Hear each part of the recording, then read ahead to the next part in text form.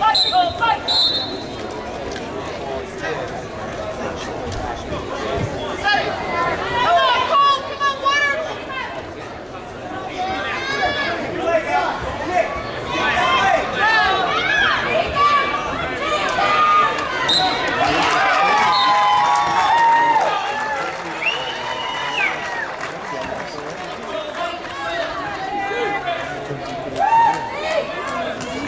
Next up on that one, Justice